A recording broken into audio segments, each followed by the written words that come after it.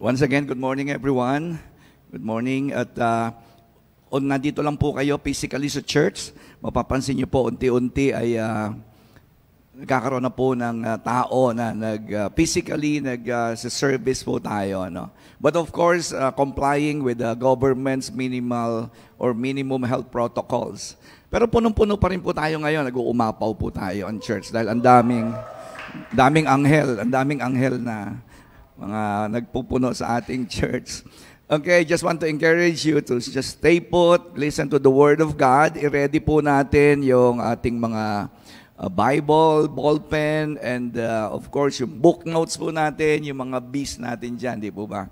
And this morning, I'm so excited kasi uh, nararamdaman na po natin no, na gradually, slowly, ay uh, nakakabalik na po tayo sa church. Because you know what, I, ang isang worry ko po, dahil seven months na po tayo sa quarantine, paulit-ulit. Ang isang worry ko po ay kapag nasanay po yung mga Christians na sa bahay na lang nanonood ng service. And I believe iba pa rin po yung physical, iba pa rin po yung face-to-face. Kaya ang prayer ko po, okay lang naman kung may live streaming, pero mas maganda po eh kung uh, may effort, di ba? Paplano talaga tayo, excited. Kasi there are only two things that would happen to you in the last seven months. Kapag Christian ka, no? Kung ikaw ay Christian, may dalawa lang na nangyari sa iyo. Sigurado yon Sa loob na nakaraang pitong buwan. Either you get closer to God or you drifted away. Ganun lang po yon. Wala, hindi ho pwedeng medyo napalapit, medyo napalayo. Well, there's no such thing, no? Na medyo. It's either, dalawa lang po yun. Sinabi po ni Jesus yun eh. If you are for me, you are for me. If you are not for me, you are against me. Di ba? Sinabi po ng Panginoong Jesus, dalawa lang talaga ang sitwasyon ng isang tao. Kung malapit ka sa akin, or malayo ka. Wala medyo malapit, walang medyo malayo. Ganun po talaga yon. Alright? Either you hate me, or you love me. Di po ba? Halimbawa, sa relationships natin, kaming mag-asawa. Dalawa lang yon either kami ni Angie ay nagmamahal sa isa't isa or we don't love each other. Hindi pwedeng medyo mahal ko si Angie or medyo mahal niya ako. Ganun, yun po ang reality. Kasi kailangan nga po mabago yung isip natin kasi nasasanay nga po ang mga tao na yung mga akala nila, di ba? Yung assumption. Alam niyo yung salitang assumption, grabe, ang daming sinirang buhay po niyan. Yung akala ko, right? Kaya nga hindi pwedeng akala ko. Eh, akala ko kasi okay naman tayo. No, it's either you, you hate that person or you love that person. Kahit sa friendship, sa magkaibigan. So, laging walang middle ground yan, kapatid. Huwag mong i-assume na akala mo magkalapit kayo. Ay, dalawa lang talaga yan, mga kapatid. So, yun po ang worry ko, no? Dito sa last seven months, kung tiga dulos na botas ka, dalawa lang ang nangyari sa'yo. Napalapit ka ba sa Diyos? Na mismo ba talaga yung, yung pagpunta mo sa church? Kasi hindi naman pwedeng sa Diyos ka lang mapalapit. Siyempre sa church, hindi naman pwedeng ang lapit-lapit mo sa Lord, eh disconnected ka naman sa church mo. Eh kasi yung church mo, ito yung Christian family mo dito sa mundo eh. Ah, di ba? Alam nga namang meron kang tatay, may nanay ka, hindi mo na miss. Seven months mo nang hindi nakikita. Right? Eh, kasi alam po natin, yun po talaga ang totoo. So this morning, my prayer is that kanina nagpo-post po ako doon sa ating bago tayo magsimula ng service, bago tayo mag-live. Sabi ko nga, Holy Spirit, my prayer is that you help us prepare our hearts and minds to receive this morning. Yun po ang prayer ko kasi baka magsayang po tayo ng panahon. Uh, ito pong service natin every Sunday, one hour and a half lang po ito. So kapag hindi ka pa nag-receive dito sa one hour and a half, eh, bobombahin ka na naman ng mga pressure bukas, papasok ka na naman sa trabaho, ang dami na naman problema, lupaypay ka na naman. Imagine, Christian ka. Tapos hindi ka pa marunong mag-train sa sarili mo na every Sunday, Lord, I want to receive from you. Kasi yun lang ang pag-asa mo, tama? Daming problema. Bobombahin ka na naman dyan. Ang problema mula Monday hanggang Saturday, pamilya mo may problema, pera, may problema ka, mga tao sa paligid mo, sa trabaho mo. Just imagine that, right? So my prayer, ang prayer ko talaga, honestly, with, with my heart, and I want to invite you to a short prayer. Yun po ang prayer natin. No? Let us bow our heads. Lord, this is our prayer this morning that you would help us. Help us to open our hearts and our minds to receive from you. Ang salita mo lamang po ang pag-asa po namin. Hindi lang para mag-survive, kundi para mag-thrive. Dahil ang sabi mo, walang ilaw na itinatago. We want to be the light wherever we, we go. We want to be the salt, to give flavoring in the lives of people that are so dull in their lives, so normal. Gamitin mo po kami mula lunes hanggang Sabado. Hindi kami maging kamuka ng mga tao sa paligid. Lord, na hopeless, desperate, stressed out. Gamitin mo po kami bilang Christian. That's our prayer. At ito pong oras na ito, it's our opportunity to fill our tanks. Punuin mo yung tangke po ng aming pananampalataya in this coming minutes or one hour or so. We give you the glory, Father, in Jesus' name. Amen. Amen. Ngayong umaga po, I want to share with you about yung faith that is powered by the brain. That's my topic for this this morning, no. Faith powered by the brain. Kasi ang isa pong uh, pagkakamali minsan ng mga Christian, sobrang spiritual, no? Na hindi niya alam na dito, habang nandito ka sa lupa, hindi pwedeng puro spiritual ka. Kasi nga po, nandito pa tayo sa physical world. Right? And because we are, kung nasa langit ka na, okay na yun, hindi mo na kailangang gamitin yung utak mo. Kaya maraming mga tao, Christian, hindi Christian, ang gulo-gulo ng buhay, wasak-wasak ang buhay. Bakit? Eh nandito sa physical na mundo, hindi nila ginagamit yung physical na mga attributes nila, yung function, di ba? Faculties. Meron kang ang sense of taste eh. Meron kang ang, di ba? Sino rito ang walang panlasa ngayon? Ay, delikado yan. Natawag ako sa barangay. Kapag sinabi mo, hindi ko ginagamit yan, yung sense of taste. Ay nako, sense of smell. Di ba? Pag nawalan ka ng sense of smell ngayon, upuntahan ka na ng mga ambulansya, mga naka-PPE yan. Nako, machichismis ka na sa buong barangay mo. Grabe, sinundo na siya. Kaya kayo, wag kayong sasama pag merong sumusundo sa inyong liwanag. Ha.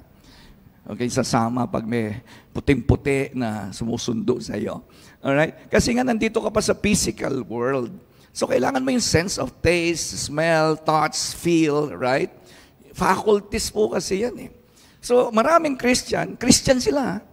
Sabi nila Christian sila. Kasi you know what? Your faith is directly connected and affected by how your brain functions.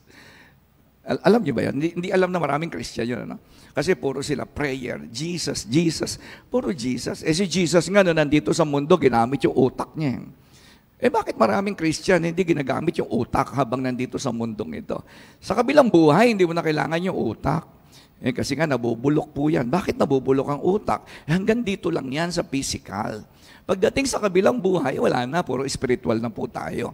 Pero habang nandito ka, alright, kung gusto mo talagang ma- magkaroon ng totoong success according to the definition of God, ha? Hindi yung definition ng mundo, no? Dalawa kasi ang definition ng success. Pero siyempre, we are Christians and we are running after success according to the definition of God. Yung sinasabi ng Bible. Gagamitin mo talaga yung, yung brain. Kasi ang nagpa-power ng pananampalataya, utak po. Alam mo, kapag yung utak mo hindi ganong gumagana, apektado ang pananampalataya dyan. Hindi kasi nare-realize yan na maraming Christian. Puro faith, puro prayer, puro worship. Kita mo, simba ng simba, hindi nababago buhay. Di ba, simba ng simba sila, nagiging religious lang sila. Hindi sila nang papalapit sa Diyos. Kasi whether you know it or not, whether you are aware of it or nga, hindi nga aware. Kapag, ang, hindi kasi aware. Hindi, walang kamalay-malay ang maraming Christian na napapalayo na sila sa Diyos. Why? But they're not using their brain. I believe, you know, this is my belief, and I, I believe my belief is aligned on the Word of God. I believe that God designed the mind. Dinesign po ng Diyos yung utak mo habang nandito ka sa lupa para pakinabangan mong mabuti yan na may unbelievable capacity. Itong brain po natin, dinesign ng Diyos yan na merong unbelievable capacity to think, to feel, to make choices, eh, ba't ka ba nagkakamali ng choices? Bakit maraming Christian? Christian na, mali-mali pa po ang mga desisyon sa buhay. Eh, utak nga eh. Sa utak nga yan. Kaya nga yung, kayong umaga, gusto ko talaga pakinabangan niya itong message na to. Kasi ang pananampalataya ay directly affected kung ano yung function ng utak mo. Narinig niyo ba yung salitang neuroscience? Hindi ba may mga doktor, neurosurgeon. Ito po yung mga espesyalista, yung mga doktor, yung utak, sila ay nag-opera, nagre-repair, pag may damage, di ba? Yung neuroscience is a science about how the brain of a person function. Ay grabe, kaya nga po yung mga doktor na nag-oopera po ng utak, ang galing po niyan. Eh, kasi the brain is so complicated, di ba? Ang tindi ng utak ng tao. Yan kasi yung hard drive natin. Eh. Yung tao, yan ang, yan ang center of the program of your whole life. Yung pong neuroscience is so fascinating and mysterious, no? Kung paano yung narinig mo yung astronomy. Halos, alam niyo, astronomy, the study of the galaxy. Yun ang astronomy, the study of the solar system. Alam niyo ba yung kung gaano po ang daming hindi pa na-discover ang mga astronomers about the mystery, secrets ng galaxy, ng solar system, ganon din ang neuroscience. Ang mga doktor po na ngayon, advanced na ang technology, hindi pa rin nila ma-discover yung complexity, no? Yung mga sikretong nakatago. Kasi Diyos nga ang gumawa niyan. The brain is so powerful, mga kapatid. It's like a big galaxy. Ang utak po ng tao ay katulad ng isang malaking solar system, ng universe, na ang tindi po niyan. Hindi po, alam ko, naniniwala ako eh, no, na matatapos ang buhay natin na hindi pa nila madidiscover, kahit gano, gano ka-advance ang technology, yung brain, na dinesign po ng Diyos kasi yung brain ng Diyos po nag-design yan eh. And you know what? You know what? Listen. Your brain okay, is so important regarding to your relationships. How your mind works is really important. It's crucial. How you relate, how you relate to people. Kita niyo bakit pag maraming sirang relationship, eh kasi yung utak nga, sira ang takbo niyan. Eh. Di ba? Tawag natin dyan, lakas ng topak niyan. Di ba? Ikaw ba naman gusto mo bang mag-asawa ng lakas ng topak? Eh, saan ba nanggagaling ang topak? Hindi naman sa espiritu yun eh. Sa utak talaga yung topak eh, kapatid. Di kaya nga maraming malulungkot, maraming magulo ang buhay. Kita mo, nagkaroon ka ng boyfriend, girlfriend, akala mo, saya-saya mo. Eh meron palang sayad. Saan ba yung sayad? Sa utak nga, yun eh. Kaya how your brain functions, function, how your mind works, directly affects your relationship with people, with God, with your family. Kasi yan po yung ginagamit natin dito sa buhay na ito. Remember, Nasa daigdig ka pa, sa ayaw at sa gusto mo. Andiyan ang mga tao sa paligid mo, office mates mo, schoolmates mo, nanay mo, tatay mo. At kapag may, may tama ang utak, sabi ko sa iyo, kahit hindi lang sa loob ng bahay, hindi lang sa loob ng opisina, even your faith, yung relasyon mo sa Diyos is directly affected by how your brain works. Mga, mga kapatid, kaya nga ang Bible nagsasabi ng renew your mind, di ba? Ba't pa sasabihin yun? Kaya nga po yung, yung success, kapatid, the fact is, ito yung fact, it, this is the fact of the matter, no? Yung success, the way God defines success, ha? Uh, ingat po kasi kayo pag sinasabing tagumpay, no? Ingat kayo ha, pag nag-iisip kayo ng tagumpay. Kasi dalawang klase nga tagumpay. Yung tagumpay, how the world define, and the, how God define. Kung gusto nyo malaman kung ano ibig sabihin ng tagumpay as far as God is concerned, Bible lang hawakan nyo. Bible. Pero kung gusto nyo yung tagumpay na pangkaraniwan, eh siyempre magtanong lang kayo sa kaibigan nyo na hindi Christian. Yung kasing success, ito po ay good thing, right? Good thing ang success. Magandang bagay po ang tagumpay. And, and, and you know what? I believe that uh, God decided us to succeed in life. Wala pong kaduda-duda na kung tatanungin mo si Lord, Lord, gusto mo ba magtagumpay ako? Of course, anak kita eh. Tama po ba yun? Siyempre, ngayon kung gusto ng Diyos na magtagumpay ako, di siyempre ako ay pinapurso ko yung success according to God's plan. Nakakatulad ng isang ano, 'di ba, yung may tinatawag nga ng white hot passion, 'di ba? Nakakita ka na ba ng nakakita ka na ng bag, ng bakal na nilagay sa apoy. Namumuti yun eh. Pero pag namuti po yung bakal, ang tawag doon, white hot. Hindi naman po yung red, no? Yung, kapag yung bakal na mula, hindi pa po talaga mainit yun. Kapag yung bakal na nilagay mo sa apoy, namumuti na siya, ay, yan tawag doon, white hot. Bakit ko sinasabi to? Because you believe that it is plans, the plan of God for you is to succeed. You believe, naniniwala ka, no? kasi ginagamit mo nga utak mo. Kasi may mga tao, alam mo, hindi sila naniniwala. Kaya nga kita mo, wala na silang pag-asa. Yung mga taong hindi sila naniniwala, eh saan ka ba naniniwala? Hindi naman sa puso. Hindi lang sa puso. Dito sa isip talaga yan. Eh, may mga taong hindi sila naniniwala na sila ay dinesign para magtagumpay. Kasi nga, dito lang sa Nabota sila pinanganak. Nasa squatters area pa sila, di ba? So ngayon, yung isip niya kinondisyon ng environment. Sabi niya, lolo ko mahirap. Tatay ko mahirap. Nandito lang kami sa squatters area. Siguro talaga, wala na akong pag-asa. Eh, wala talagang pag-asa na yon. Kaya nga, ang laki nga. Sabi ko sa inyo, how your brain functions is directly connected if whether you will succeed or fail in life. Kaya nga yung title natin nga, eh, di ba? Faith that is powered by the brain. Okay? Meron pong malaking kinalaman yan. So kailangan, hinahabol mo tong dream ng Diyos sa buhay mo to succeed like a white hot, with white hot passion. Dapat ganong katindi ang init mo na habulin, sundan, and to dream about the dream of God in your life. Basahin natin ang isang verse, 1 Corinthians chapter 6. Tingnan niyo po ang sabi ng Bible. Ito ang sabi ng Diyos. No? Hindi lang si Pablo ang sumulat nito. Ito po ang sinasabi ng Holy Spirit sa ating lahat. 1 Corinthians chapter 6, 19. Do you not know? Hindi mo ba alam, sabi po ni Pablo. Do you not know that your bodies are temples of the Holy Spirit? Kita mo, no? Yung, yung palang katawan ng isang tao, hindi mo ba alam? Sabi niya. Kasi nga marami hindi nakakaalam. Who is in you, whom you have received from God. You are not your own. So ito palang buong buhay ko, hindi lang po yung spirit, no? hindi lang yung mga bagay na spiritual, itong katawan ko mismo, flesh. Itong flesh and blood na nakikita po natin ngayon, nararamdaman mo, ito raw po ay tahanan ng Holy Spirit. Kasama pala yung utak ko doon. Right? Ibig sabihin, kasama yung utak ko talaga. At hindi na raw po akin itong utak na to. Ibig sabihin, dapat kasamang tinubos po sa cross yung utak natin. Pero siyempre, hindi naman naboborn na ng utak, di ba? Yung may-ari, sino ba may-ari niyan? Una, ako. Tapos sinishare ko kay Lord yan. Ganun po ang Christian eh. Alam ng Diyos, akin tong utak na to, kasi nga laman, di ba? Hindi naman spirit yung utak eh. Pero sinishare ko yan sa Lord. Lord, ito, ito ang plano ko, di ba? Lord, ito ang naglalaro sa isip ko ngayon. Ganun po yun, ano? Ang ibig sabihin that it is not yours. Kasi voluntarily sinusuko mo sa Diyos what's going on your mind. Yun ang Christian, right? Hindi mo na sarili. Yung takbo ng utak mo, hindi mo na sinasarili ngayon yan. Kasi it's not my own anymore. I don't own anything na nandito ngayon. Yun ang ibig sabihin that my body is the temple of the Holy Spirit. Tinubos na nga ako ng Panginoon eh.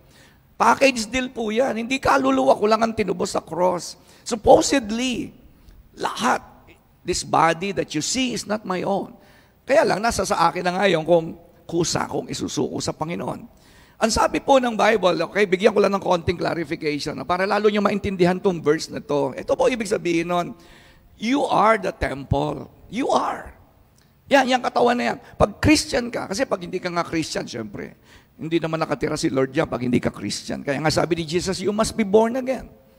Yun po ibig sabihin ng you must be born. Hindi religion yun. Kasi kahit anong magsimba ka pa, simba-simba, okay, mangumpisal ka pa dyan. Ako, nagpipinitensya pa ako nung araw. Pero ang issue, ang issue, hindi yung kung nagsisimba ka ba every Sunday, it's not the point. It's not the issue. Ang issue is your body. Are you conscious that your body is the temple?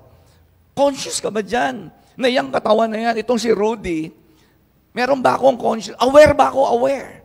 Malinaw ba sa isip ko na I am? Diba? Kasi yung salitang you. You are. Do you not know? Sabi po ng, sabi ni Pablo, hindi mo ba alam? Eh bakit Christian ka, nagkakalat ka? Di ba? Hindi mo ba alam? Yun, di ba? Kaya kita nyo, yung mga Christian na nagkakalat, yung may masamang testimony, yan yun. Hindi mo ba alam? Ba't ka ganyan? Ba't, ba't ginagamit mo yung katawan mo? Eh, hindi na sa'yo yan, di ba? Yun po ang point. The point is, it's, it's not about whether you are going to church every Sunday. It's, it's, the point is not You're not only reading the Bible day and night, it's not a point. Okay? Mga ano lang yun, result. Result na lang yun eh. But the main point, kasi ang mahalaga, ang mahalaga kasi dyan yung main point. Hindi yung sub-points.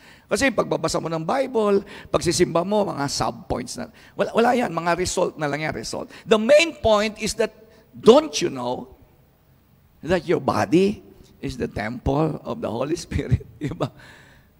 Nakatira siya sa iyo eh. Yun ang sabi po ng, sabi ng Bible. He doesn't dwell in buildings, right? Hindi naman tumitira ang Diyos sa building eh. Hindi naman siya tumitira sa mga mga bato, kahoy. He dwells in the believers. Tumitira siya sa mga mananampalataya. Yun ang born again. Yun ang ibig, ang ibig sabihin ng born. Hindi ibig sabihin ng born again, nag-member ka rito sa dulos. No, we are not taking membership. We are not interested in membership. Okay? We are interested in relationship. Do you have a relationship with the Lord Jesus Christ who died on the cross for you to redeem you and to save you and to so that he can pay for all your sins, so that he can cleanse you, right? Para mag, malinis ka niya. Eh pag hindi ka kasi na born again, hindi ka naman malilinis ng Diyos. Hindi ka naman kasi kayang linisin ang mga kasalanan mo ng palubog-lubog lang sa tubig. Nakakalinis ba ng kasalanan ng bautismo? Of course not. Nakakalinis ba ng kasalanan ng pagsisimba? Hindi, syempre, hindi naman.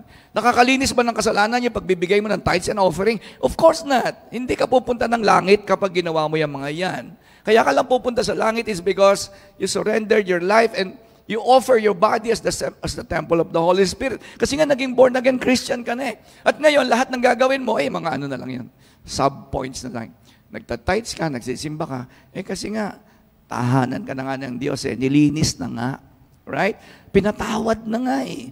Ang kasalanan mo, eh, hindi ka naman mapapatawad sa kasalanan. Hanggang hindi mo sinusurrender yung buhay mo kay Jesus, hindi ka magiging member ng dulos. Magiging pamilya ka muna ng Diyos, tsaka ka mag pupunta sa dulos. Right?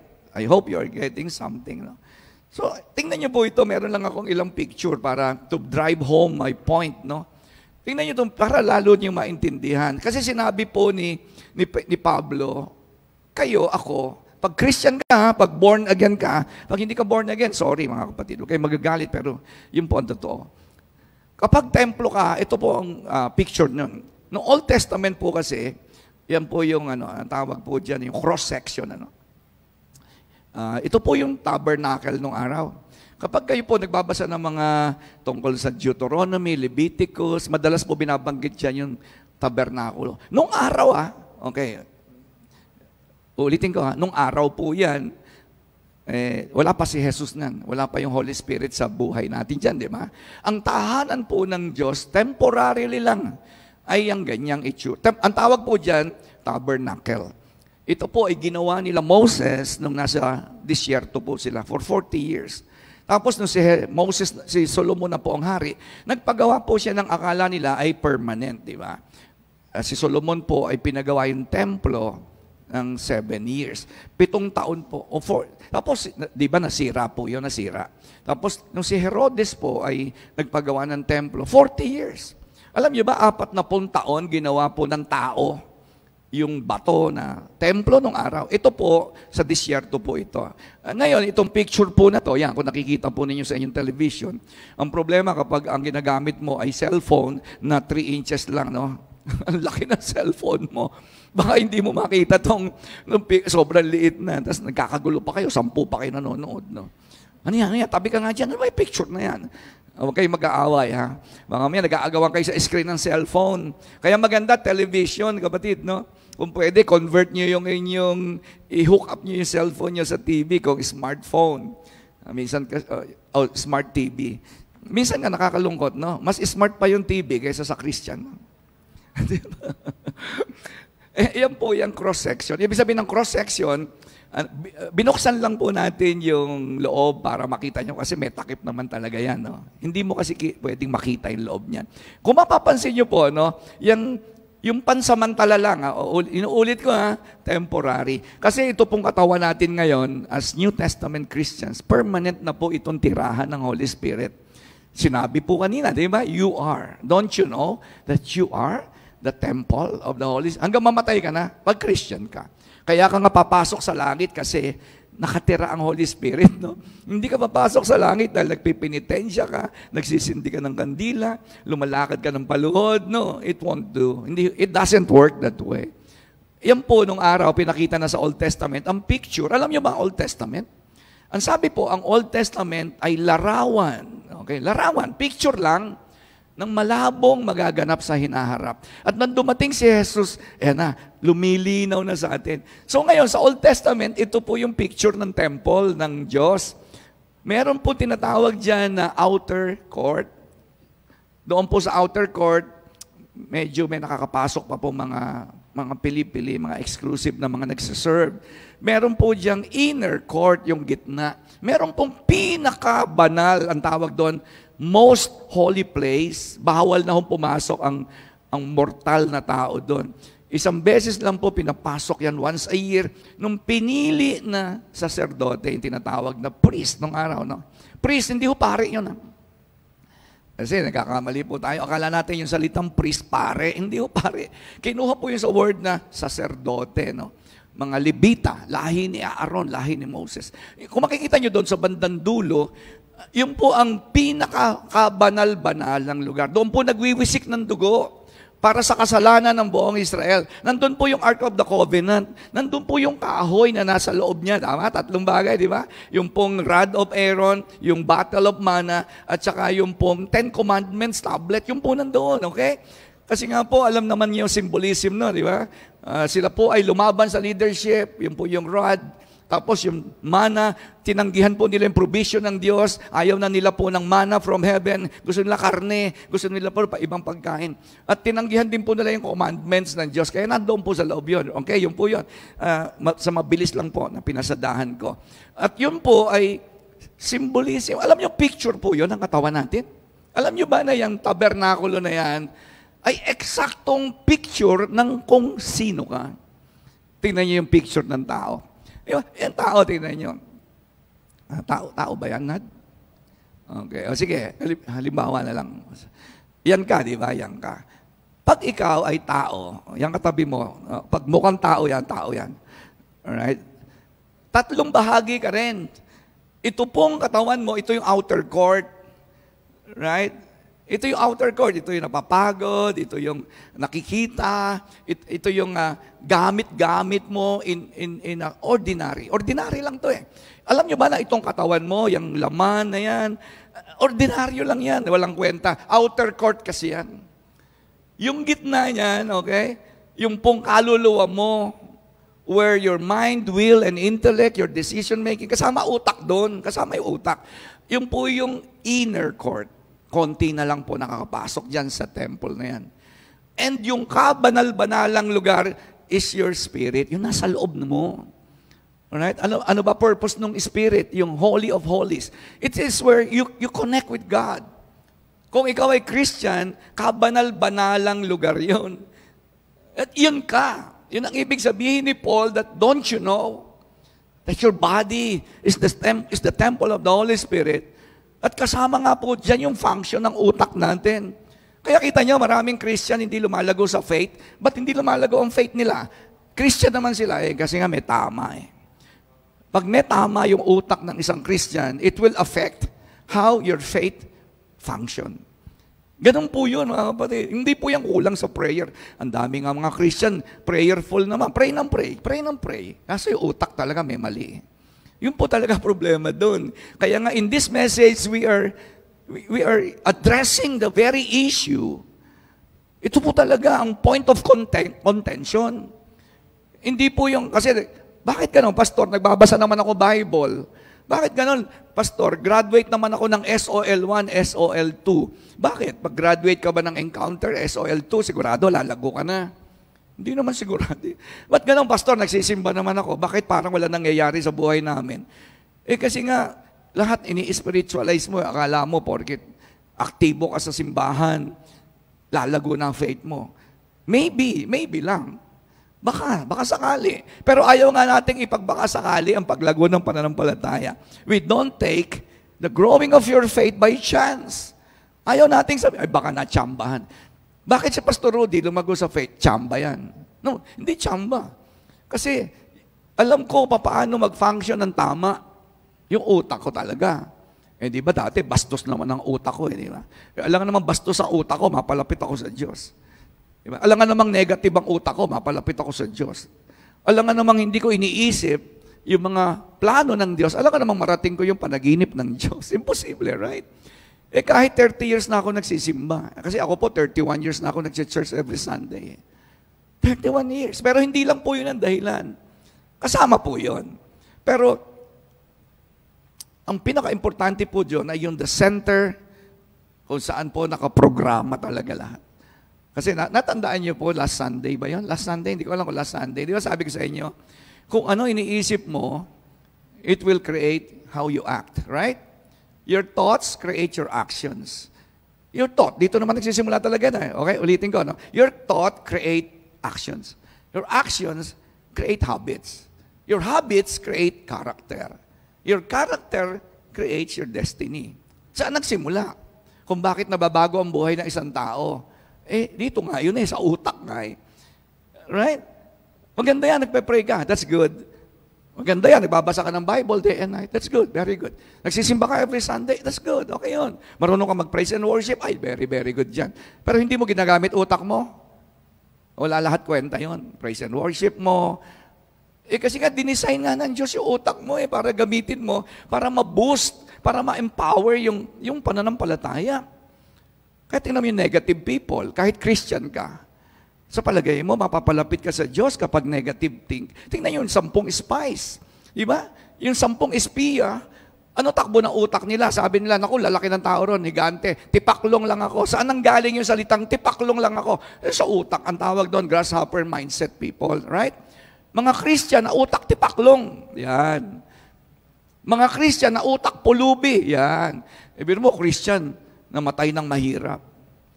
Biro mo, Christian, hindi niya magawa malalaking bagay dahil sa isip niya, hindi ko kaya. Saan nagsisimula yung hindi kaya? Dito siyempre sa utak. Because what you're thinking will create habits in your life. And the habits that you develop will create character. And the character that you develop will create a destiny or absence, you will miss your destiny. Yun po ibig sabihin doon, mga kapatid. So, kaya maganda po yan. Ano, makikita niyo yung picture na yan. Ulitin ko, paki-flash nga ulit. Yung pong nanonood sa cellphone lang nila, tapos sampu kayo. Next Sunday, okay, umarkila na kayo ng ano, smart TV. Yan po yung cross-section, nakikita nyo. Pag pumasok ka dyan, ang una mo makikita, outer court. Ito po yung outer court. Ito. Ito yung, walang kakwenta-kwenta talaga. Alam niyo ba na itong katawan na nakikita niyo, kahit cute po ito, di ba? Oh, walang kokontra.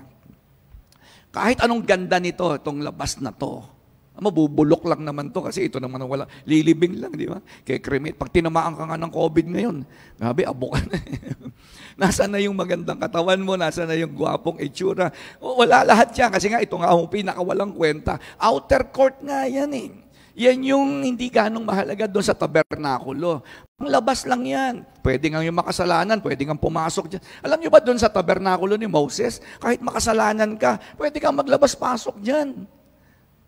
Pero doon sa loob, yung inner, ay ibang usapan na yon. Kasi nandun na po yung mga tinapay, nandun na yung alak, nandun na po yung showbread, nandun na po nandun na yung mga holy utensils, nandun na yung mga lamesang banal. Ang pwede lang humawak doon, mga mangilan-ngilan lang po na nililinis na po yung kanilang buhay. Okay? Ibig sabihin, mga siguro lumal sa panahon natin, nakakapasok na siya sa medyo loob-loob ng presence. Pero wala ka pa sa presence ng Diyos, ha? Nasa inner court ka lang nga. Pero yung kaloob-looban yan, yung, te, yung, yung tabernakulo na yan, nako, pilim-pili po ang pumapasok dyan. Ibig sabihin, ikaw na talaga yung ang buhay mo, inilagaan mo para sa Diyos, kasama na yung buong katawan mo, utak mo, puso mo, espiritu mo, kaluluwa mo, katawan mo. Kaya nga may sinasabing huwag kang ihipo, eh, di ba sabi? Huwag mong ipagamit, sabi ni Paul. Huwag mong ipagamit yung anumang bahagi ng katawan mo sa kasalanan. Outer nga kasi yan. Kasi maraming Christian, baliwala sa kanila yung outer. Hindi mo iniintindi ka itong outer na to. Eh, ang sabi po ng Bible, di ba? Eh, ito po ang pinakaunang makakaranas eh. Ito yung nagwo-worship eh, right? Ito yung lumuluhod. Kaya may gamit pa rin naman po ito. So sinusurrender pa rin po natin ito. Eh kasi yung utak ko nakatira po dito sa katawan na ito eh. I hope you're learning something. Kaya kita nyo, habang tumatagal ka nabubuhay sa mundong ito, naapektuhan talaga yung ano mo eh. Sa ayaw at sa gusto mo, habang, habang tumatanda kayo, no? yung karanasan mo, naapektuhan yan eh, how you think. Kaya ang daming negative na tao, hindi niyo ba napansin? Ang daming negative na tao. Eh kasi habang tumatagal ka, nakakaranas ka ng rejection, Eh tapos hindi ka pa emotionally strong, apektado ka niya, di ba? Bitter ka. Tapos, uh, dami mong sama ng loob. Kaya na- naiipon yung mga negative thoughts. At kapag negative ang thoughts mo, ano yung action mo? Negative. Ano yung habits mo? Negative. Alam nga namang may maganda kang future. Wala kang future. Kasi nagsimula nga po lahat dito yan. Uh, ang daming tao. Ex- bigyan ko example, no? Basahin ko lang po. Sabi nung, ito yung mga negative na ang tagal-tagal nakatira na sa loob ng isip ng mga tao. Apektado yung temple ng Diyos dyan eh. Alright? Kung ano yung tumatakbo sa utak mo, apektado yung temple of the Holy Spirit. Sabi ng iba, hindi ako magaling talaga. Yun, di ba? Yun yung, mga, yun yung nakuha mo eh. As, as, you, as you go through this life, o, di ba? Hindi ako magaling talaga. Walang nagmamahal sa akin, mga ganyan, di ba? Uh, I'm not worth it. Hindi ako deserving. Di ba? Mababa lang pinag-aralan ko. Diba? Mahirap lang kami. Yan po yun. No? Hindi siguro ako magkakapera kasi average person lang ako. Uh, sabi niya, ayoko magsalita kasi magtatawanan lang ako. Di ba? Yung mga ganyang mga takbo ng utak. Nobody is interested in my ideas. Hindi napapansin. Bakit pa ako magsasalita? Eh kapag nagsalita naman ako, re-reject nila ako. Di ba? Yan yung mga negative. Ang daming ganyan. Sabi ng iba naman, nako baka pag nagkapera ako, hindi ko naman maipagpatuloy kung paano ko magiging masustain yung aking success. Mga negative po yan. Sabi ng iba, kahit ano gawin mo, hindi ka na magtatagumpay. Kaya huwag ka nang sumubok. Ganyan po yung mga negative. No? Yung iba naman sabi nila, I'm too young for this. Right? Yung salitang, hindi, bata pa ako, hindi ko kaya yan. Yan yung mga negative mindset na pipigil sa, yun nga, yung how your brain functions. Sabi naman iba, I'm too old. Di ba? May mga ganun.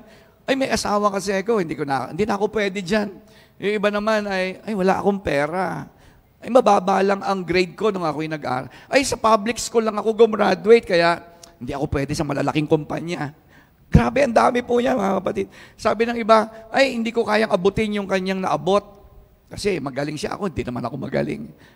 Ay, tiga na botas lang kasi ako eh. Ay, graduate lang ako sa mababang paaralan eh, ng ganito. Di ba? Ang dami mga kapatid. Ay, kasi mahiyain ako. Grabe, ang dami, no? Eh, siguro habang nakikinig ka nga sa akin ngayon, may naiisip kang, ako yun. Ay, ako yan. Nahiyain kasi ako eh. Di ba? Ay, kasi high school lang natapos ko. Right? Ay, elementary lang natapos ko. Sabi pa ng iba, ay, hindi pa panahon. Hindi pa panahon niya. Matagal pa yan. Kaya kaintay, alam nyo, kaintay nila ng tamang panahon na pag-iwanan sila ng panahon. Pero sa totoo lang, kaya sinasabi ng iba na, it's not yet time. Eh kasi, negative lang takbo ng utak mo. Hindi ka naman totoong spiritual noon. Akala na iba kasi kapag sabi, ay hindi pa timing. Akala nila spiritual sila. Hindi. Negative lang takbo ng utak mo. Takot na takot kang sumubok. Di ba? Takot kang mag-take ng risk. Kaya mga Christian na hindi risk taker, yung mga duwag na Christian, dito po galing yan. Kaya kita mo, apektado ang pananampalataya nila. How your brain works will affect how your faith works. Kung ano tumatakbo sa utak mo, kapatid, apektado ang pananampalataya mo. Maniwala po kayo sa akin. Sana maniwala po kayo sa akin. Alam nyo, ang Diyos kasi ay hindi nagbabago. The Word of God never changes. Kapag sinabing the Word of God never changes, ang ibig sabihin doon, God never changes, right? Yun ang ibig sabihin doon. Eh. Kung hindi nagbabago ang salita ng Diyos, ganun din ang Diyos, hindi siya nagbabago. And you know what? Ako, I don't know about you, ah. but God promised me a promised land. Ang Diyos po nangako sa iyo, sa akin. Ako, ako kasi alam ko yan eh. May pangako ang Diyos sa akin. Okay? May promised land na nagiintay sa akin. Dito sa lupa, hindi sa kabilang buhay yun ha. Ayan na naman, mag-i-spiritual, spiritual na naman. Sabi ng mga Christian, kaya kita niyo may mga Christian na nagpe-pray, Lord, kunin mo na ako. Bakit may mga Christian na nagpe-pray na, Lord, kunin mo na ako? Eh kasi nga, hindi nila maranasan dito yung pangako ng Diyos. Sasabi nila, buti pa sa langit, di ligaya ako doon. Bakit? Pag dito ba sa lupa, hindi ka pwedeng lumigaya? So saan may problema yung tao na yun? Sa utak niya talaga yun. Hindi, sa utak talaga yun. Ako enjoy na enjoy ako dito sa lupang ito eh. Alam niyo ba, hindi ako worldly ha. Baka kasi iniisip niyo, ano ba naman tong pastor na to? Di ba? Makasanlibutan siya. Ayaw niyang pumunta ng langit. O sige, ikaw, kung gusto mo, mauna ka na. Sino rito gusto mo nang mauna ka na, pumunta ka na ng langit? Ako po, alam ko na kasi yon, pupunta naman talaga ako ng langit. Anong man ang mangyari. Tama? Pinag-uusapan pa ba yon? Eh bakit ikaw nag-aapura kang pumunta ng langit? Hindi, sige nga mga kapatid. Maging honest tayo. Okay, maging honest na tayo. Ako po, Christian ako ha. Saan ka nakarinig na Christian hindi nagmamadaling pumunta ng langit? Eh kasi ibang Christian, sana dumating na si Lord. Diba? Eh kasi nga hirap na hirap ka sa buhay. Ang prayer ko sa iyo, kunin ka na ni Lord. Talagang pag Christian ka, na hirap na hirap ka sa buhay, sana kunin ka na ni Lord. Hindi kasi nakakaawa ka eh. Ibo, nagkakalat ka lang dito ng kasalanan. Tapos yung buhay mo, hirap na hirap.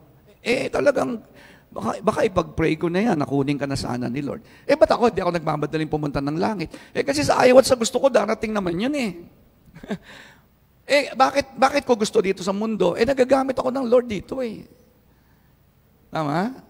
Nagagamit talaga ako ng Lord. Maraming mga tao na kailangan pa ako dito. Ewan ko lang kung si, si Nadnad, pinagpe-pray na ako na kunin na sana ako ni Lord.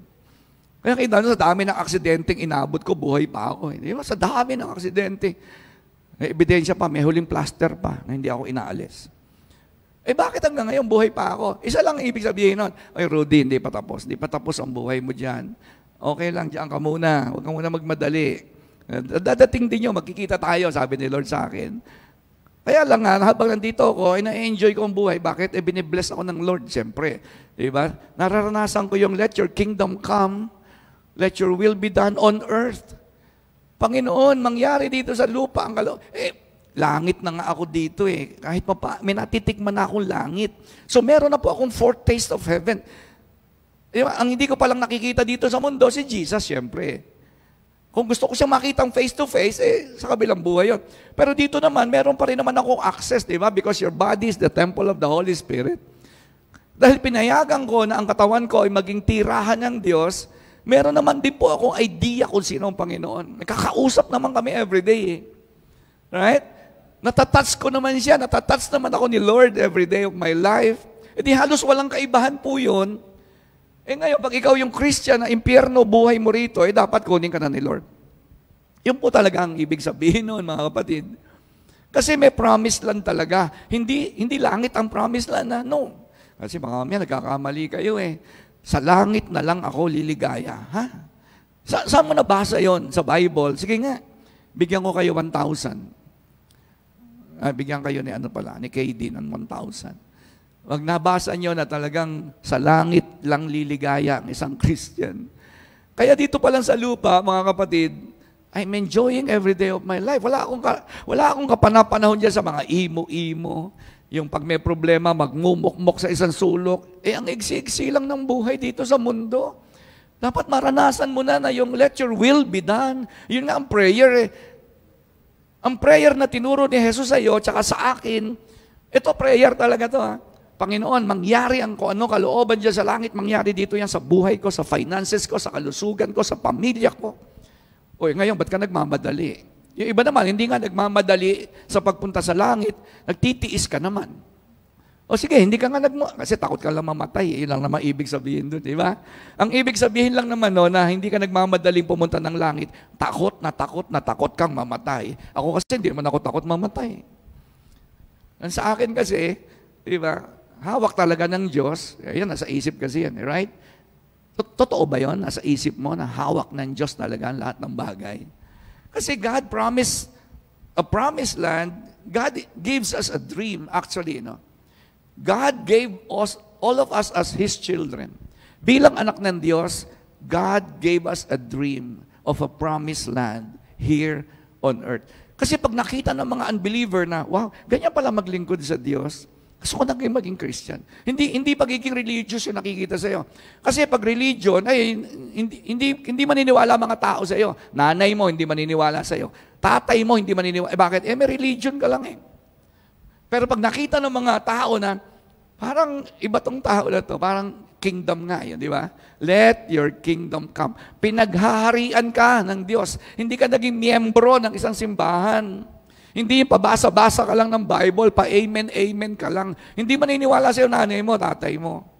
Pero pag nakitang sinakop ka na ng kaharian ng Diyos, naghahari, yun ang promised land, kapatid. Yan ang ibig sabihin ng promised land. It's a dream. But you know what? Listen, listen. Yung promised land po dito, bago mo talaga makuha yan, it all starts with letting God in your mind. Yes, it all starts. Nagsisimula na ikaw ay mapalapit sa kaharian ng Diyos at sa pangako, yung promised land, when you let God, okay, get into your head and have the throne. Hanggang hindi mo pinapayagan na ang Diyos ang nasa utak mo. Sabi ni Paul, punuin mo. Sabi ni Paul eh, di ba? Punuin mo yung utak mo na yan ng mga bagay na makalangit. Di ba? Sabi po ng Bible. Punuin mo. Ibig sabihin, paghariin mo ang Diyos. Let your will be done in my brain. Kaya grabe, anda. Talagang, dito lang sa dulos, ayaw ko na makialam sa ibang simba. Dito lang sa dulos, kita mo, daming Christian, gulo-gulo ng utak. Eh, eh syempre, pag magulo utak mo, magulo buhay mo. Magulo pamilya mo. Magulo finances mo. Kaya nga hindi naayos sa finances mo. Kasi pagdating sa finances, dito sa utak pa lang, gulo-gulo, struggle ka na eh. Di ba? May arguments ka na eh. Tithes? Naku, argument na yan. Di ba? Pag narinig mo yung salitang tithes, ano pumapasok sa isip mo? Ay, naku, grabe. May arguments. Hindi hari. Tama? Hindi hari si Jesus. Sa utak mo. Kaya pagdating ng ikapu, argumento na yan. Naku, nagdidebate na kayo dyan. Eh, kasi nga, the brain is the battlefield, right? Ang battlefield. Ang totoong gera. Dito. Hindi naman dito eh. Kasi puso mo, okay naman yan eh. Born again ka na nga eh. Pero saan ang totoong battlefield? Who owns your money? Eh, paano yan kung wala ka pag ganong pera? Alam niyo, mahihirap, lalong ang hirap. Ang hirap maging mahirap. Eh kasi biro mo, mahirap buhay mo, magbibigay ka ikapo. Ilang kayang mahihirap na member natin sa dulos ang walang argumento pagdating sa 10%? Ah, hindi sa pilitan yan, ha? Mga kapatid, ha? ulitin ko, ha? huwag kayong magbigay, ha? Huwag kayong magbigay. Kapag dito, hindi hari si Jesus. Eh kasi kailangan maging hari si Jesus dito. Sabi ko nga sa inyo, going your dream of realize, realizing, yung realization of the promised land starts with letting God to be the king of your brain. Yun talaga ang simula ng pagpunta mo para matupad, mangyari yung panaginip ng Diyos na ikaw ay makarating sa lupang pangako, a land flowing with milk and honey, hindi ka maghihirap sa buhay, hindi ka kakapusin. Inilagay na ng Diyos lahat doon ang pangangailangan mo because you seek first God's kingdom and His righteousness. And all the things that you need. Saan ba nagsisimula yung seeking God's kingdom? Dito nga yun eh, kapatid eh. Eh, sawan-sawa na si Lord sa kakakanta mo eh. Kanta ka nga ng kanta. Amen ka ng amen. Simba ka nga ng simba. Eh, religious ka lang eh. Alam niyo kung ba't galit ang Panginoon sa religious people? Ba't siya galit sa mga pariseyo? Ewan ko, naisip niyo na yan. Bakit galit? Bakit kaaway ni Jesus ang mga religious people? Eh kasi ganito, religious people. Ang dami niyang alam, pero hindi niya ginagawa. Ang tawag doon, hypocrisy. Hello? Ulitin ko. Bakit galit ang mga tao sa simba ng simba? Basa ng basa ng Bible. ang tawag sa iyo, religious. Kaaway ka ng Diyos, maniwala ka sa akin. Or at least Christian ka. E di siyempre, pupunta ka naman ng langit, no? Siyempre, mahal ka naman ng Diyos. Kaso, mahal ka ng Diyos, hindi ka naman papagpala ng Diyos. Bakit? Ang dami mong alam eh. Yun po ang ibig sabihin ng religious. Ang mga religious na tao, dami mong alam, hindi mo naman ginagawa. Galit na galit ang Diyos diyan. Ang tawag diyan, ipokrito ka. Yung, alam mo naman kung ano gusto ng Diyos, ba't tayo mong gawin? Eh, kasi nga, nandito lang eh. Something is wrong with your brain. Jesus is not sitting on the throne of your brain. Kasi dapat maupo sa trono si Jesus dito eh. Kahit mo, hindi ka allergic pag narinig mong, uy, giving time. Grabe, si Daniel, kakanta, utal-utal na nga sa pag-encourage para magbigay kayo eh. Eh, ang delikado pa naman, nasa bahay kayo ngayon, di ba? Uy, tithing na, makaihi nga. Eh, hindi ka naman namin masusundan sa CR mo. Kasi nasa, eh kung nandito ka, kaya may offering box kami dyan sa comfort room. Eh kaso nga, nasa bahay ka eh. Kita nyo yung utak ng mga Christian, ano? Pag linggo, live, kaya nga ako, hindi ako, sabi ko, ang live streaming, ano lang, pansamantala lang talaga to. Live streaming, late ka pa. Saan ka may problema? Utak mo talaga may problema. Kasi alam mo, pag nagbabago na yung utak mo, nare-renew, no? Kahit nasa bahay ka, nakaayos ka na dapat yan, eh, nakabihis ka, di ba? Uy, 30 minutes na lang, ha? mag-service na tayo. Nasa bahay ka na na. Uy, handa na natin lahat yan, ha? Uy, magpipris na si pastor, wala nang tatayo, ah, dapat, ganun, ganun dapat pag nasa bahay ka. Eh. Di ba? Ibig mo, iba nga, naka-shorts lang, di ba, pag nasa bahay. Sana nga, hindi ka naka-brief, ha?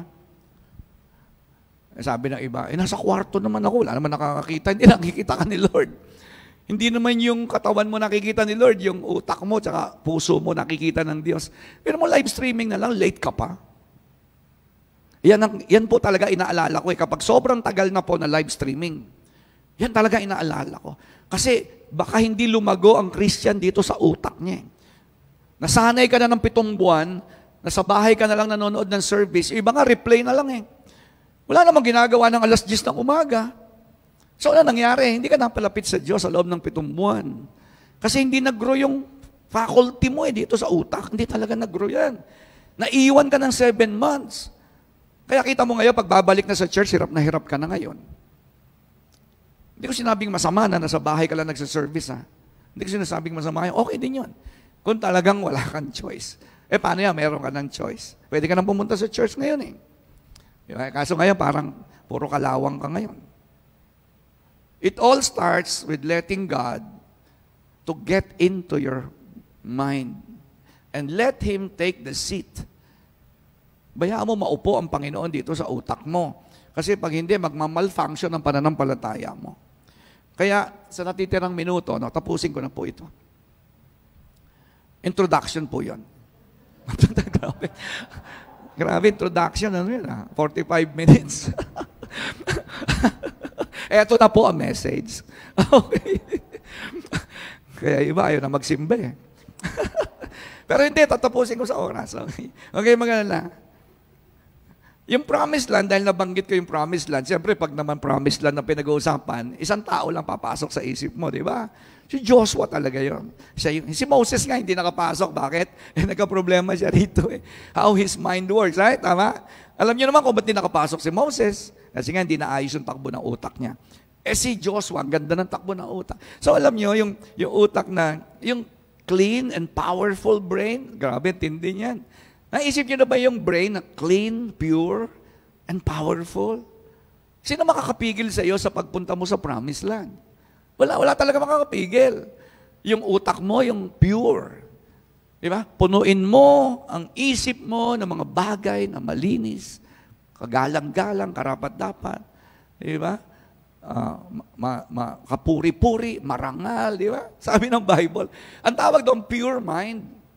Tapos, powerful mind. Bakit powerful? Eh, walang negative na pwedeng pumasok dyan. Powerful. Ang brain, ang utak na hindi, walang puwang ang negative things, is such a powerful brain. Eh, paano yan kung ikaw ay isang Christian na mayroong pure, clean, and powerful brain? Katulad ni Joshua. Bakit si Joshua nakapasok sa promised land? Eh kasi nga yung brain ni Joshua, clean, pure, and powerful. Right? Hindi ko nabasahin yung ilang verse. Kasi yung verses 1 to 9, lakpasan na natin yun. No? Ito yung powerful and pure brain, nagpo-produce ng faith. Alright? A powerful and pure brain produces faith two. Ito na yung, ito na yung resulta. Okay, pag sinabing, yung, kaya po, two, ito na yung ilang, ilang bagay, no? Konti lang to. Tatapusin ko sa oras. Nagagawa ng isang Christian kapag ang utak mo ay pure, clean, and powerful, nagagawa mo to leave the past behind and move forward. Yan po ang resulta ng clean, pure, and powerful brain. Alam niyo kung ba't di makaalis sa nakaraan ng maraming Christian? Eh, polluted ang utak, negative ang utak, hindi na exercise ang utak, apektado pa na ng palataya nila. Kita niyo yung sampung espiya, no? Yung sampung espiya, pinatay talaga ng Diyos yun. Oh, pinatay talaga ng Diyos. Eh, sabi niya, naku po, biro mo itong lahi na ito ang magiging simula ng lahi sa loob ng promised land. Right? Eh, mga utak tipaklong, corrupted, negative ang utak. Sabi niya, mamamatay tayo dyan. Hindi natin kaya yan. Sabi ni Joshua, hindi, binigay na ng Diyos yan. Wala na tayong gagawin just to possess. Sabi ng sampo, hindi, hindi natin kaya. Ano tawag doon? Hindi, corrupted. Negative. Eh, ikaw Christian ka. Pero Christian ka, bakit hindi ka makaalis sa Egypt? Yung Egypt, pinalabas ka na ng Diyos sa Egypt. Nasa utak na lang yung Egypt eh. Di ba? May kasabihan, narinig nyo na yon. Lumabas sila sa Egypt, pero yung Egypt hindi makalabas. Sa utak. Kaya maraming mga Christian ngayon, makikita mo, ba't hindi umaasenso? Eh kasi yung Egypt nasa utak na eh. Yun ang nangyari sa sampung espiya.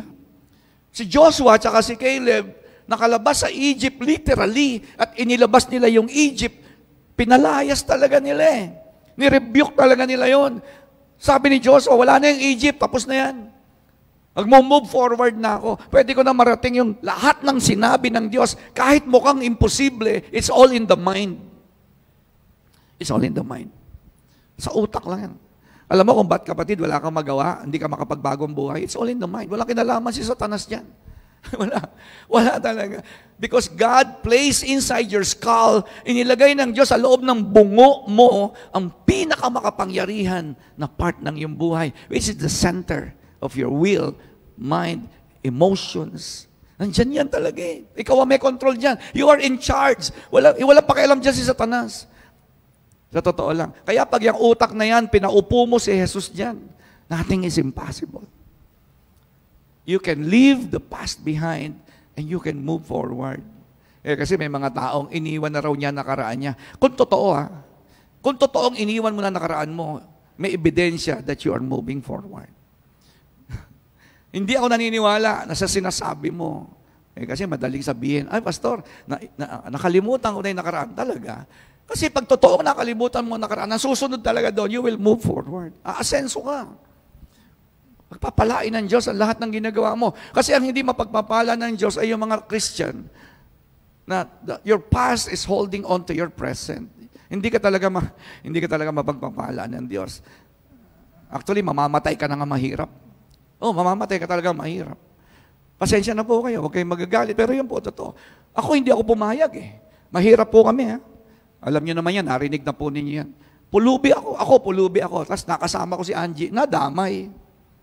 Eh nagkaanak pa kami ng tatlo, nadamay yung anak ko sa kahirapan. Pero sabi ko, hindi pwede. Naging Christian ako eh.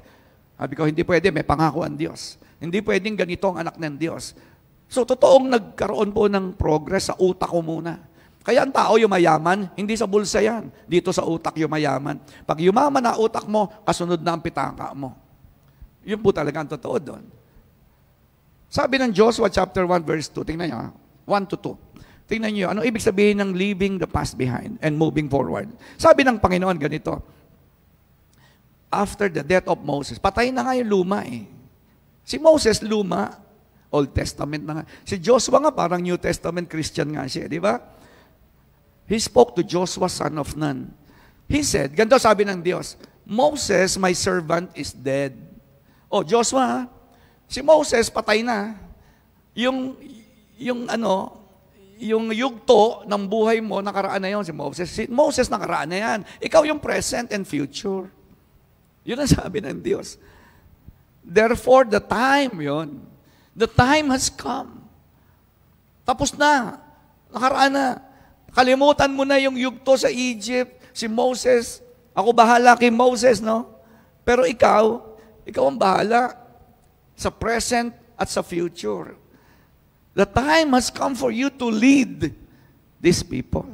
The Israelites across the Jordan River into the land I am giving them. Alam mo ba, pag ikaw Christian ka sa pamilya mo, ha? Listen, pag ikaw ang Christian sa pamilya mo, meron kang responsibility to bring your family to the promised land. Eh, ikaw ang may alam ng katotohanan. Ikaw yung nakalaya sa nakaraan, di ba? Kahit puro demonyo pa yung nakatira sa bahay mo, God is giving you a dream for your family. Eh, network leader ka pa ngayon. Biro mo naging network leader ka. Ano assignment mo? To bring your team to the promised land. Eh, naging cell leader ka. Kung cell leader ka, kapatid, hindi ka lang pa cell group, cell group dyan. Ako po. Kaya nga hindi lumalago ang mga cell group eh. Kasi ang mga cell leader, walang inisip kundi mag-cell group lang eh. Ang cell leader, bukod sa nagsisell group ka, ang pinakamatindi mong assignment sa Diyos is to leave the past behind and move forward. Bring your people to the promised land that God has promised to you. Matindi ang pangako ng Diyos, kapatid. Ikaw ba ay alipin katulad ng Israel, apat na raan taon sa loob ng Egypt, kahit anong tindi ng bandage, kaya kang palayain ng Diyos. Kasi the past is already behind. Amen, mga kapatid. Leave the past behind. Kapag ginagamit mo lang utak mo, ha? Eh, kasi alam mo yung nakaraan, memories yan eh. Yung kanta ni Barbara Streisand, Memories. Grabe, antindi niyan. Makapangyarihan na nakaraan mo. Kaya pag hindi mo dinaigyan ng pananampalataya mo, ng renewing of the mind, your past will become more powerful than your future. Yun, ang malaki mong problema dyan. Kaya kita mo, daming Christian, hindi nagbabago buhay. Eh kasi yung nakaraan nila ay mas makapangyarihan kaysa sa kanilang hinaharap. Ang laking problema, mga kapatid. Saan nagsisimula yun? Eh di syempre dito. Utak tipaklong nga eh. Mga Christian, utak tipaklong. Ako, grabe. Masama man sabihin, pero walang pag-asa yan. Wala talagang pag-asa. Negative kasi yun eh. Ayoko sanang sabihin nyo, wala nang pag-asa. Pero pag ang Christian, utak tipaklong, utak pulubi, utak mahirap, utak na walang magagawa siya, utak na puro imposible, utak na maliit lang siya, mababa lang pinag-aralan niya, tiga na botas lang siya. Masama man sabihin, pero wala talagang pag-asa. Eh kasi mismo ang Diyos walang magagawa eh. Nakita mo, pinatay nga yung sampu eh. Pinatay talaga ng Diyos yun. Basahin niyo Bible. Hindi sila namatay ha, pinatay sila. Kaya maraming Christian pinapatay talaga ng Panginoon. Kasi hindi, ka, hindi makakapasok sa promised land yung mga nagiintay eh. May mga nagiintay kasi. Alam nyo, ako hindi ako pwedeng pumasok, hindi pwedeng hindi ako papasok sa promised land. Starting with my mind. Kasi marami nagiintay eh. May mga nakadugtong sa buhay ko eh. Whether you know it or not, may mga taong nakadugtong sa buhay mo na nagiintayan, lead us. Pangunahan mo kami. Kasi sabi ng Lord, Joshua, you will lead. Hindi naman kasi marunong pumasok yung mga tao na yon. Ikaw ang marunong dapat eh. Tama? Eh, paano yan? Naging religious ka ngayon. Alam na alam mo, pero ayaw mong gawin. Alam niyo ba, galit na galit ang Diyos doon sa mga Christian. Ang dami mong alam, ayaw mong i-apply. Galit talaga ang Diyos doon. Ano yan? Mauupo ka na lang sa simbahan the rest of your life? Magsi-cell group ka na lang the rest of your life? Mag-PPID ka na lang for the rest of your life? Dahil leader ka sa simbahan, ano gagawin mo? I-meeting-meeting mo na lang ang mga tao mo. Na hindi ka talaga gagawa ng matitinding hakbang. Hindi ka risk taker. Hindi mo babaguhin ang utak mo. Mahahawa sa iyo mga tao mo dyan. Ako, Mahahawa talaga sa iyo. Kung may labindalawa kang inaalagaan, yung labindalawang yan, tatanda na lang sa simbahan yan. Hindi yan magagamit ng Diyos. Hindi nila mararanasan yung panaginip ng Diyos. Naku, kaya alam mo, malamang patayin ka na lang. Malamang patay. Sabi ng Lord, anak, pumunta ka na rito. Papaltan ko na lang yung mga leader ng tao na yan. Kaya mo si Moses, pinaltan. Tamo yung sampung spies, yung sampung espiya, mga mamaya, niisip yung spice yung ano eh, pickles. espiya. Espiya po, mga kapatid. Number two, number two, kailan tapusin ko na ako. Ma, ma, makikriticize na naman ako ni Elizabeth nito. At haba-haba mo mag-preach. Hindi, wala naman nagre-reklamo, di ba? Wala, no? Okay, wala, wala, wala daw. Okay. si Elizabeth lang. Number two, kapag talaga naayos talaga, no? Ito mangyayari. You can, now you can pursue God's dream. And you know what? You will never fail. You will never fail. Magiging, magiging, uh, ano ba tawag dito? Ipaglalaban mo talaga yung panaginip ng Diyos. Paglala, ilan lang kaya mga Christian dito sa dulos ang ipinaglalaban mo yung dream of God? Kasi ang maraming Christian, pinaglalaban yung dream niya. Makatapos sa pag-aaral, okay naman yun. Wala namang masama na ipaglaban mo yung pag-aaral mo. Okay lang po yun. Pero ang pinakamatinding dream kasi yung God's dream.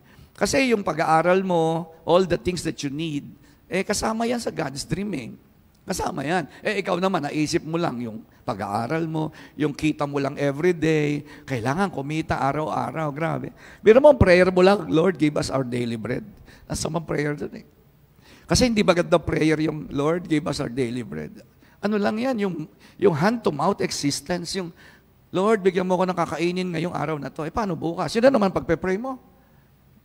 Eh, hindi naman dream ng Lord na yung araw-araw nagpe-pray ka na kakainin mo. Ibig sabihin, nabubuhay ka nga, nagsusurvive. Eh kasi pag ikaw ay nasa survival mode, paano ka magagamit ng Diyos? Eh, iniintindi mo lang sarili mo eh. Hindi, kaya nga hindi pwedeng hindi ka pagpapalain. Kailangan ka mapagpala. Gustong gusto ng Diyos na mapagpala ka. Bakit? Kasi God wants to use you to bless other people. Eh paano yan? Kung eksakto ka lang. Laging eksakto. Patay.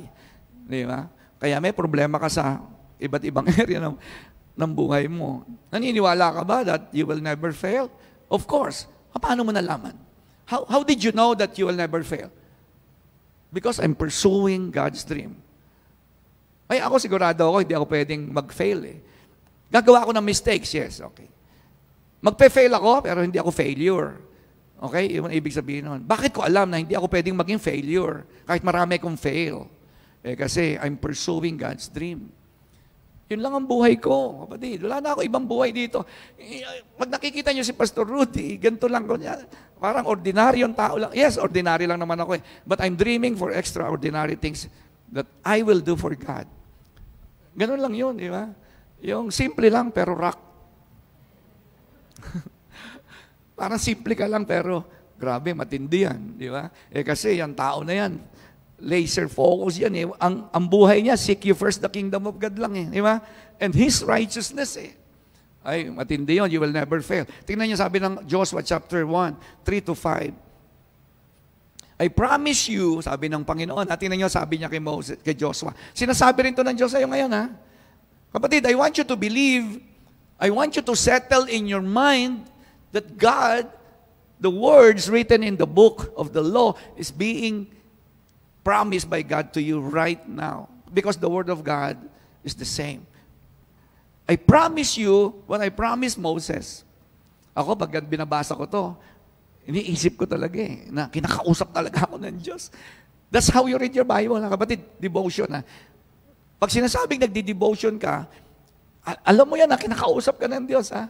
Okay? I promise you what I promised Moses, wherever you set foot, You will be on land I have given you. Saan ka man pumunta, yan lupang yan, binigay ko sa Hindi ka maghihirap dyan sa lupang yan. O sige, nasa nabotas ka lang, nasa nabotas ka. Pero kahit nasa nabotas ka, namumukod tangi ang buhay mo. Hindi ka, hindi ka katulad ng mahihirap na tiga nabotas dapat.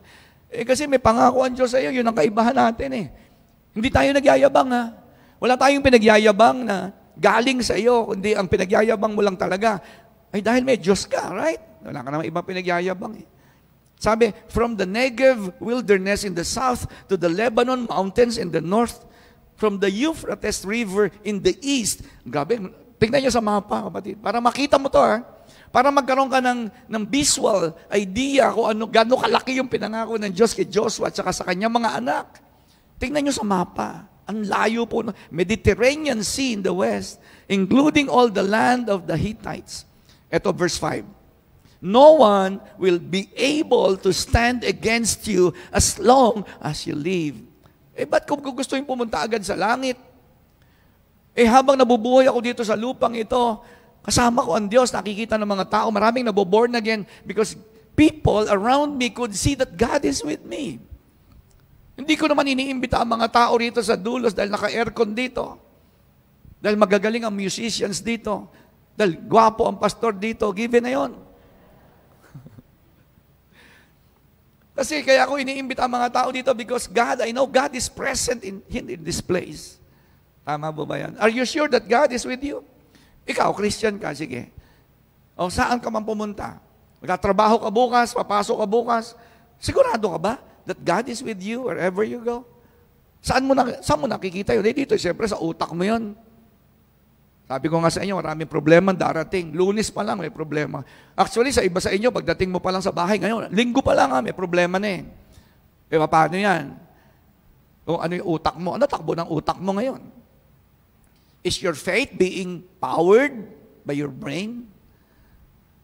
Kaya nga sabi ko sa inyo, you have to be tough-minded. Sabi, when the going gets rough, di ba? the tough gets going. Di ba? Sabi ng commercial, refrigerator yun eh. Hindi ko nakalimutan yung, yung commercial na yun, mga 10 years ago. When the going gets rough, the tough gets going. Tama yun. Di ba? Dahil pahirap ng pahirap ang buhay, parami ng parami ang problema, hindi man nababawasan ng problema eh. Hindi naman talaga eh. Sinabi na nga ni Jesus, in this world you will have troubles. Dito sa mundong ito hanggang buhay ka, daming problema dito. But sabi niya, but take heart, in me, you will have peace. Eh, saan ba yung peace? Eh, Siyempre, dito yun. Right? Alam mo, okay ang buhay mo. Alam mo, stable ang utak mo. He will never leave you. You are guaranteed to succeed. Ito pong salita ng Diyos ay guaranteed to succeed. Sa akin, settled ako dyan. Okay? And lastly, panghuli, lakpas na ako ng 3 minutes. Panghuli po, listen to God's word, meditate on it, and obey it. Ito po pinoproduce, ito ang product ng powerful, clean, and pure mind. Oh, yan po ang product. Product yan eh. Huwag kayong magtataka kung bakit ang isang Christian pinagpala, umasenso, nagamit ng Diyos, naging successful. Eh kasi nga, product yun ng pure, clean, and powerful mind. Hindi po yan padasal-dasal, hindi yan pa-fasting-fasting lang. Eh, yun ng fasting, hindi mo magawa. Eh, bakit? Eh, utak nga mo. Utak mo may problema talaga eh. Yeah, ba't hindi ka makagising sa umaga? Utak ka may problema dyan. Hindi demonyo may, may kagagawan dyan. Kasi, ba't hindi ka na naman naka-attend ng prayer? Kasi po si Satanas. Ano, ano si Satanas? In-injectionan po ako ng pampatulog. Grabe. Wala ka na kasi masisi, di ba? Eh kasi totoo naman, ikaw lang naman may problema. Wala naman problema kay Satanas yan eh. May demonyo ba? Yes. Huwag ka nang tumingin sa katabi mo. Pero totoo may demonyo. Kaya lang, hindi naman demonyo may problema, kapatid. Sarili mo talaga yan eh. Sa utak mo talaga yan. Tingnan nyo, you can, now you can listen. If you have a clean, pure, and powerful mind, walang pwedeng magsabi sa'yo, oy, huwag kang magbabasa ng Bible. Walang pwedeng mag-utos sa'yo ng ganun.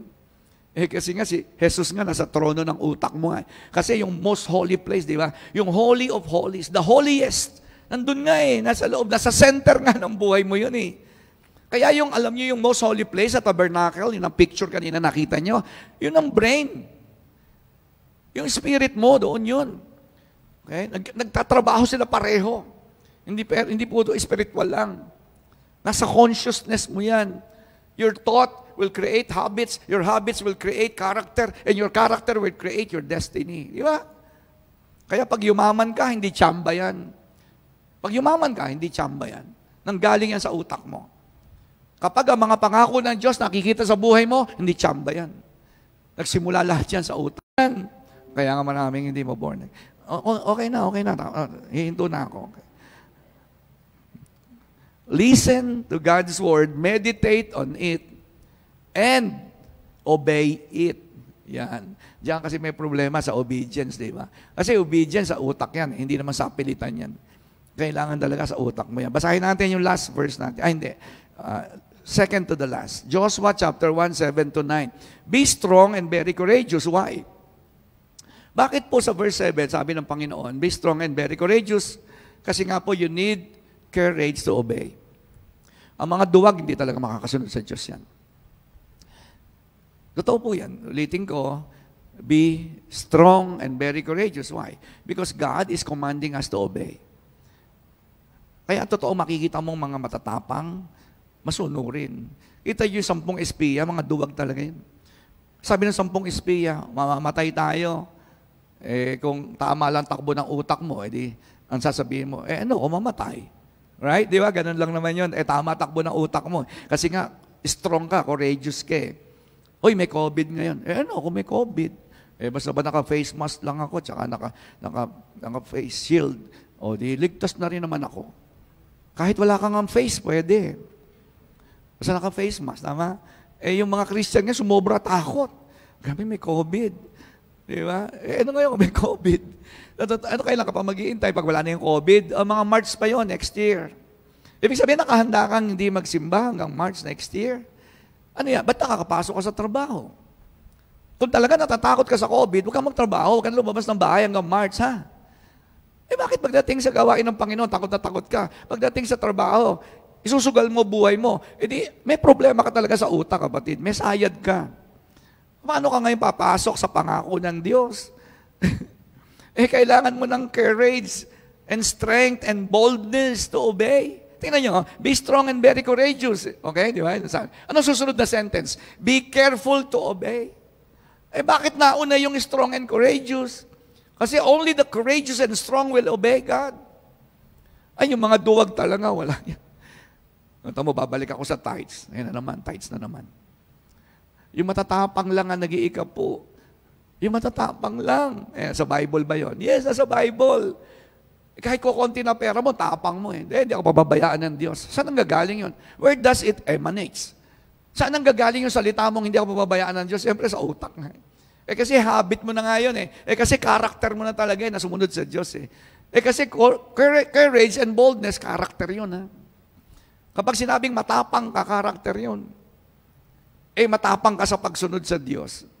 Eh, ano kaya mangyayari? Ano kaya gagawin ng Diyos sa mga matatapang? Eh, ipapasok ka sa promise ng Diyos. Be careful to obey all the instructions Moses gave you. Do not deviate from them, turning either to the right or to the left sabi ng Panginoon, diretso lang ha. Pag sumusunod ka sa akin, diretso lang. Huwag kang titingin sa kaliwa, huwag sa kanan. Focus, sabi ng Panginoon. Be strong, be courageous. Then, ito, tingnan niyo. You will be successful in everything you do. Wow! Grabe. Yung pala yun. Ang mga tao, gusto nila maging successful. Pero ayaw nila sumunod sa Diyos. Laki problema. May tama talaga siya sa utak, di ba? Pero naman gusto mong umani, hindi ka nagtatanim, oh, di saan kami tama? Eh di siyempre sa brain. But if your brain is functioning, okay, clearly, eh yung faith mo lalago talaga. Study this book of instruction continually. So ang Bible pala, instruction, ano? Continue. Meditate on it day and night, so you will be sure to obey everything written in it. Only then you will prosper and succeed in all you do. Doon ka lang, sabi niya. Only then. Huwag kayong, mag, huwag kayong umasa ng pagpapala kung hindi mo ginagawa yung sinabi sa una.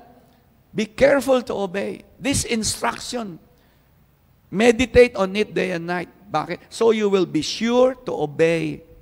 Last verse, this is my command, be strong and courageous. Inulit na naman. Magpakatapang ka kasi hindi makakasunod sa akin ng mga duwag. Yung sabi ng Bible talaga. Yung mga duwag, wala talaga yan. Walang puwang yan sa kaharian ng Diyos. Only the brave and strong and courageous will inherit the kingdom of God. Yung mga pangako ng Diyos, para sa matatapang lang yan. Hindi umaayaw. Matulad ng Friday training natin. Hindi ka nagkukwit. Eh, kasi talagang pagduwag ka, hindi ka tatagal. Do not be afraid or discouraged, for the Lord your God is with you wherever you go. It's time to let God give you a powerful mind, a clear mind. It's time. Mga kapatid, panahon na. Na pag nagpe-pray ka, huwag ka lang mag-pray ng trabaho, ng, ng boyfriend mo, na gumaling yung COVID. Mag, sama mo sa prayer mo, Lord, give me a pure, clean, and powerful mind. And last verse, before I close in prayer, Romans 12 verse 2, kabisadong kabisado na natin to. Pero para lang sa icing on the cake, Don't copy the behavior and customs of this world. Kasi iba takbo ng utak ng mga tigamundo. Ang pinag-uusapan dito, utak ha. Ang sabi ng Diyos, huwag niyong kopyahin ang takbo ng utak ng mga taga-sanlibutan. Hindi yan mga taga-langit. Hindi nila naintindihan ang plano ng Diyos. Don't copy the behavior and customs. But let God transform you into a new person by changing the way you think. Payagan mo na baguhin ng Diyos ang buhay mo sa pamamagitan ng pagbabago ng iyong isip. Kama, di ba? So, ask God to help you renew your mind. Hindi hindi babaguhin ng Diyos utak mo. Okay? Ang gagawin ng Diyos, babaguhin ang buhay mo, pero iniintay ng Diyos na ikaw, baguhin mo takbo ng utak mo. Ganun po yun, ha? Hindi, okay, ulitin ko, baka hindi nyo naintindihan, mga kapatid. Hindi mababago ng Diyos buhay mo. Never. Kasi iniintay ng Diyos na ikaw, renew your mind. Tulungan mo sarili mo, baguhin mo takbo ng utak mo. You are in charge. Now, you are free to renew your mind. Malaya ka. Hindi ka naalipin ng kasalanan. Na born again ka na eh. Templo na ng Diyos ang katawan mong yan. So alam ng Diyos, kaya mo pag ginusto mo. Kaya mo pag ginusto mo. Magsimula ka lang magbago ng pattern of thinking. Kasi may pattern yan eh. Makikita mo ang taong mga hindi magtatagumpay, may pattern yan. Laging ganyan ang takbo ng utak niya. At kapag ganyan lagi ang takbo ng utak niya, yan ang actions niya. At kapag ganyan ang actions niya, ugali niya na yan. At pag naging ugali niya yan sa dulo, makikita mo, pwede ka na maging manghula. Sasabihin mo, hindi magtatagumpay itong taon. Alam mo na yun. Nagja-judge ka na na malinaw. Pwede mo na sabihin. Eh, biro mo, ako pwede kong sabihin, itong taon to, sa ilang araw, magkaka-cancer to. Bakit? Eh, naninigarilyo everyday eh. Di ba? Eh, siyempre, pwede mo nang sabihin, baka mga sampung taon lang, may sakit na yan, may emphysema na yan. Di ba? Pwede naman eh, kasi yung, yung behavior niya nga eh. Kaya sa lahat yan nagsisimula sa takbo ng utak, mga kapatid. Tapos ang sabi po ng verse, sabi ni Paul, then you will learn to know God's will for you. Yeah, God's will, di ba? Eh, Christian ka. Hindi ka ba interesado na malaman mo ang will of God? Which is good and pleasing and perfect. So ang tanong, what are the negative things that holding you back today? Ano ang mga pumipigil sa iyo ng mga negative things? It's about time, mga kapatid, to renew your minds. And God is just waiting for you. Tutulungan ka ng Diyos. Bilis ng oras. Overtime na ako ng 15 minutes. So, I will close with this. Okay? My prayer, mga kapatid, lahat po, nadala sana ng yung itong ating technology, yung boses ko sa inyong mga tahanan. At huwag kayong magpaka-religious, no? Ayaw ng Diyos na religious. Ano yung religious? Nakikinig, nalalaman mo, hindi mo naman ginagawa. Nako, kapatid, hindi ho, hindi ho healthy yun. Kasi meron kang makapangyarihan na gadget sa buhay mo. Nandiyan ang utak mo. And your brain can empower your faith. Gusto ko sabihin sa inyo, no? Na yung utak na yan, pag ginamit mo ng tama yan, ang pananampalataya mo, mag-grow talaga yan. And I want to pray, unang-una po, uh, I would assume, no, uh, siguro nag kayo sa bahay, di ba? Sana, no? Kasi ganoon naman po ang church, nag Kasi ang simbahan po, hindi pang Christian lang to. Again, we have to renew our minds. Ang simbahan, hindi ho to pang Christian. Dapat may mga tao na pumapasok sa church through your invitation para makakilala po sila sa Panginoon. Hindi po tayo nag enjoy na tayo-tayo lang. Gusto nating maranasan to na ibang tao. At kung may imbitado po kayo sa bahay nyo, nanonood po dyan ng mga kaibigan ninyo, kaklase, relatives, at narinig po nila ang message na ito, sabi nila, ang ganda. Kung nagandahan, hindi po tayo natatapos na nagandahan lang sila. Kailangan natin mag-respond. Kasi in every message, there's always a response. Hindi ba pag may nag-text sa inyo, kumusta ka na, sasagot ka. Ang tawag daw response. Ngayon, nag-message po ang Diyos sa inyo. Ginamit lang po ng Diyos itong simbahang ito. Pero nag-message si Lord. Sabi ni, sabi ni Lord sa iyo, kumusta ka na? Eh, ano sasagot mo? Hindi, hindi okay, Lord, di ba? Eh, kasi nga sa totoo lang, kung aaminin po ninyo, malayo ka na sa Diyos, malayo na. So ano response? Kinukumusta po kayo ng Diyos? Eh, Siyempre, ang response mo natin, magpe-pray naman po tayo. Kasi kapag nagpe-pray, nakikipag-usap tayo sa Panginoon. Una po, kung ikaw ay napalayo na sa Diyos, or wala ka talagang relasyon sa Diyos, hindi ka pa talaga sure kung ikaw ay pinaghaharian, kasi ang gusto po ng Panginoon, yung buhay mo ay gawin niyang templo. No? At kung hindi pa, you can pray with me ngayon. Maiksing prayer lang to, 30 seconds lang kapatid. Ililid kita sa prayer. Alright? For sa mga first-timer. At doon naman po sa mga matatagal ng Christian na nagwa-wonder ka, what's, what's wrong with me? Ano problema? Ano ba talaga ang problema ko? Ba't ako ganito? Simulan mo talaga na yung utak mo, paupuin mo si Jesus diyan. That your brain is the center, not only your heart, no? spiritually, no? Literally, siyempre. Kaya nga pag sinabing brain dead ka, di ba? Pag sinabing brain dead, ay nako, wala na. Shutdown ka na doon. Umbaga yung computer mo, sinyat off mo na. At nasa dilim ka na, nabubuhay ka sa dilim. Then kung Christian ka na, no? And you are wondering what's wrong with you. Ngayong umaga to, let us pray to the Lord. Natulungan kayo na yung brain ninyo, i-reboot mo yan. I-refresh mo yan, i-reformat mo yan. Baka kasi yung utak mo ay katulad ng hard drive na na-virus na yan, na-hack na yan. So it's about time today. It's the time, it, this is the time, not, not tomorrow. Hindi bukas, ngayon pa lang. Panahon na para yung utak natin, isurrender natin sa Panginoon. Na consciously sabi mo, Jesus, you, you, you, you take the center stage of my life, which is my brain.